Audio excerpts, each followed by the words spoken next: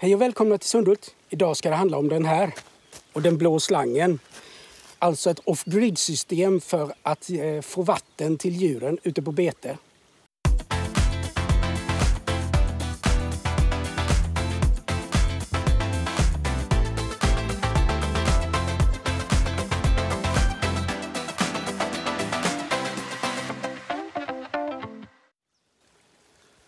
Varför anstränger vi oss och bygger ett solcellssystem för att se till att djuren har vatten ute i hagarna? Du som följer kanalen vet ju att vi kör ju eh, rotationsbete i små foller där djuren är ett par dagar. Och då vill, vill vi kunna se till att de har vatten i varje liten folla och inte liksom ha att de går till en bäck, en enda bäck hela tiden och dricker så att man måste göra färgator och så för det. Utan vi vill få ut vattnet ut till den lilla follan som de är för, där de är för tillfället. Och vi befinner oss mitt ute i skogen. Här finns ingen el att tillgå heller. Och därför har vi byggt ett system med solceller. Och där nere så har vi ett pumphus med styrning för solcellen och styrning av pumpen. Och så suger vi vatten ur en bäck som går förbi hagarna här. Och så pumpar vi det vidare ut i hagarna via vattenslang upp till ett kar med flottör i. Nu hamnade vi här nere vid det här pumphuset, vår prototyp där vi har tagit en, en tunna och satt all utrustning i. Och så har vi ställt det på en skiva av frontplyfar. Och här nere så har vi en sil i vattnet som eh, vi suger upp vatten in i pumpen i den här då och som går vidare ut i hagarna på andra sidan. Och så har vi också inlopp av luft på ena sidan och över pumpen som kan bli lite varm. Om den får gå riktigt, riktigt mycket så kan den bli lite varm på ytan. Så har vi ett utsläpp så att vi får en, en eh, luftgenomströmning genom den här burken. De här kablarna som är på utsidan de går vidare upp till solcellen som är monterad lite längre upp där. Om vi öppnar, eller lyfter på locket lite här, så kan ni se att här inne så har vi ett batteri plus att vi har pumpen där, allra längst till vänster. Vi har en liten trycktank. Och så har vi solcellsstyrningen, en MPPT-regulator och en batteriövervakare där som känner av statusen för batteriet. Och så lite säkring och sånt som vi har här under också.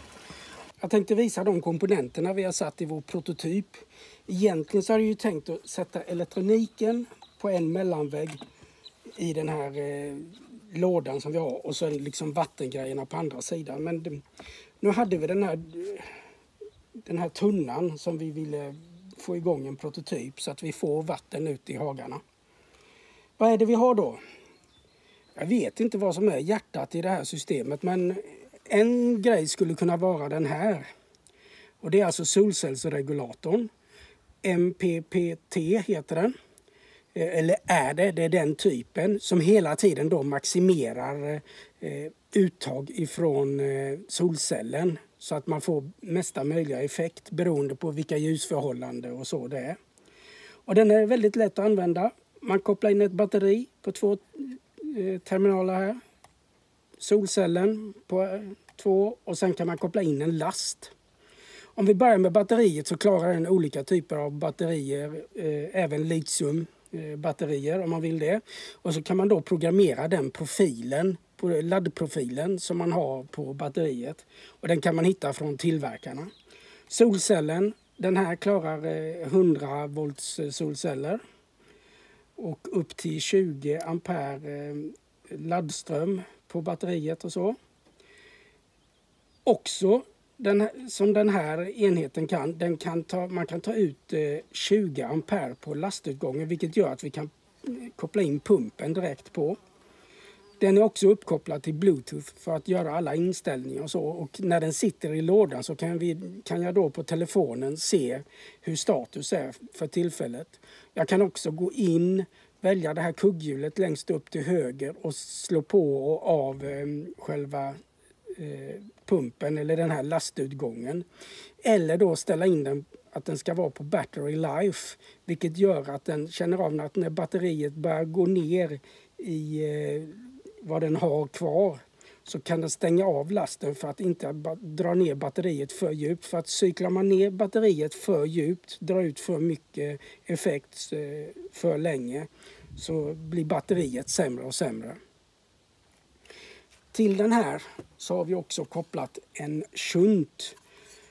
Man ser här det är rejäla anslutningar. Det här är ändå den minsta utav Victron. Det sa jag inte att det här var Victron eh, tillverkaren. Och de har den här också då. Och det är den minsta som klarar 500 ampere. Det kan ju bli väldigt höga strömmar. De har 1000 ampere och 2000 ampere också.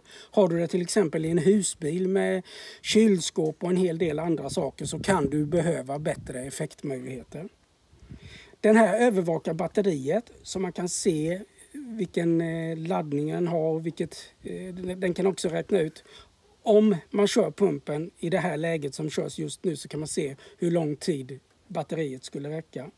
Det går också att koppla in en temperatursensor här för att eh, övervaka temperaturen på batteriet.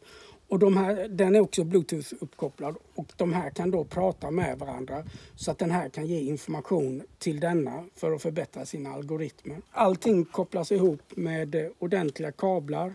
Eh, solcellerna är en sån här dubbelisolerad historia.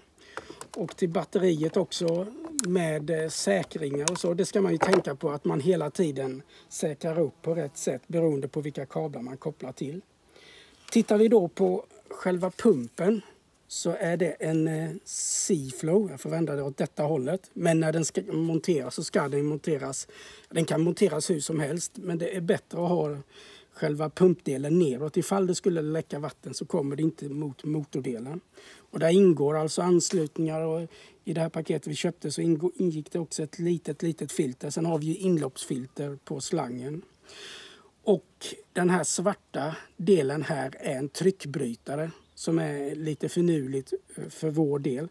Det är den som gör, ni ser det är två elkablar in, så den stänger av eh, elen till pumpen när det har byggts upp ett tryck i ledningen ut. Och då för att spara ledningar om man slår på av pumpen så blir det liksom stress i, i pulser, puff, puff hela tiden som kan påverka eh, pumpen och kopplingar och annat. Därför har vi satt en liten ackumulatortank som eh, har en liten luftbälg i sig som man eh, kan då blåsa upp här som är ett mottryck i systemet. Så när man pumpar in här så trycker man ihop den där bälgen och sen när det öppnar här borta så blir det en mjuk start när den här bälgen trycker ut vattnet. Den är bara på vad var det, 0,75 liter eller någonting sånt. Men det gör ju att pumpen inte behöver lika hög startström vilket gör att vi sparar på batteriet och vi sparar på kopplingar och annat i vår eh, utrustning också. Och sen så har vi då den solcellen som är på mm, 180 watt som är kopplad till det här systemet. Inte vidare mycket sol. Men solcellerna producerar ändå ungefär 20 watt. Och att den producerar i den nivån det beror på att den här solcellsregulatorn också är en laddregulator. Så den känner av om batteriet behöver laddas och så styr den eh, att ta ut lagom mycket effekt ur solcellspanelen mot vad behovet för systemet eh, som systemet har just nu. Och just nu så är det batteriet som behöver laddas lite. Är det så att pumpen körs då kan den öka uttaget av effekten ur solcellspanelen och, att använda, och använder solcellen först och främst för att liksom driva systemet. Och räcker inte det till så kan vi ta energi ur batteriet i vårt pumpsystem då för att se till att vi kan pumpa vatten. Nu har jag tagit mig upp ifrån eh, pumphuset och vi har slang på, jag tror det är 140 meter upp till det här vattenkaret i hagen där djuren går just nu. Och då ser ni här att det är en eh, flottör som här inne stänger en ventil från vattnet. Så om jag trycker upp den här bubblan här så kommer vattnet att sluta rinna. Och så släpper jag ner den så lyfts den av vattenytan till dess att eh, karet är helt fyllt. Ni ser, på, ser det flödar på bra. Men sen är det då alltså så att när den ventilen stänger så byggs det upp tryck i slangen och då kommer pumpen automatiskt att stänga av eftersom den har en tryckgivare på själva pumpen. Och då kan vi flytta det här karet till alla vårs, våra små hagar. Jag vet inte om ni kanske ser. Längst där borta så har vi våra 14 tjurar som vi har i solskensfarmarna av Highland Cattle som går här på naturbete. Och ni ser kanske också att det är en, eh, en vit stängseltråd här borta. Och det är för att vi delar av i mindre hagar. Ni har en här också på denna sidan så ser ni. Så här har de en, en stripp, eh, en liten folla som de ska beta under ja, två, tre dagar. Och det gör vi för att skulle vi släppa ut dem på hela det här betet på en gång, som är ganska stort, så väljer de bara att äta det goda gräset. Tränger vi ihop dem lite, de här eh, temporära stängslen, de är som rovdjuren var förr i tiden. Så då tränger de ihop jorden lite och då äter de på ett annat sätt. De äter mer olika gräs och vi får en annan typ av betning på gräset. Och som sagt var så gödslar de mer eh, jämnt över hela biten. Och eh, vi får en eh, gräs som växer på ett helt annat sätt. För att vi har dem två, tre dagar. Sen låter vi det här gräset vila 30, ja, 45 dagar gärna eh, mer än så. Vilket gör att gräsrötterna når längre ner i marken och då klarar vi olika väderlekar, alltså regn, torka på ett helt annat sätt. När vi har djupa rötter där vi får ett samspel med mikrolivet och svampar i marken och får ett bättre näringsrikt bete. Hör ni? Nu börjar det tystna. För nu har den här ventilen gått upp så mycket, eller den här flottören, så att den stänger ventilen här inne och så slutar det rinna och pumpen kommer att stänga av inom kort. Snart, imorgon tror jag det så kommer korna att flytta in, eller tjurarna att flytta in i nästa beteshage. Och då kan vi flytta med det här vattenkaret och så kan vi göra det så för alla de små hagarna vi har i det här, om, på det här området. Tidigare så har man då låtit, eh, vi har, det här är ett nytt arrende för oss. Då har man låtit djuren gå och dricka i bäcken på ett ställe. Men det blir upptrampat och djuren går dit hela tiden. Man liksom eh, får djuren på ena änden av betet mer eftersom de går dit och dricker. Nu bestämmer vi lite bättre var de ska finnas på betet och får då en helt annan biologisk mångfald och så i våra hagar och ett helt annat eh, robusthet i vårt ekosystem. Vi försöker bygga upp toppjorden för att få mer näringsrikt gräs och blandade örter och så i våra hagar. Helt fantastiskt! Off-grid system, 12 volts för att pumpa vatten och få mobilt vatten ut i hagarna inte alls dumt att vara eh, liksom självförsörjande på förnybar el för att se till att djuren har vatten. Det tycker jag är härligt. Vi gjorde ju, eller vi har också på den här äggmobilen som vi byggde så har vi också ett solcellssystem så att vi kan ha lampor inne i äggmobilen. Vi kan koppla dit ett eh, stängselaggregat om vi vill. Men där använder vi en annan typ av eh, solcellsregulator som heter PWM, en pulsbreddsmodulerad sak.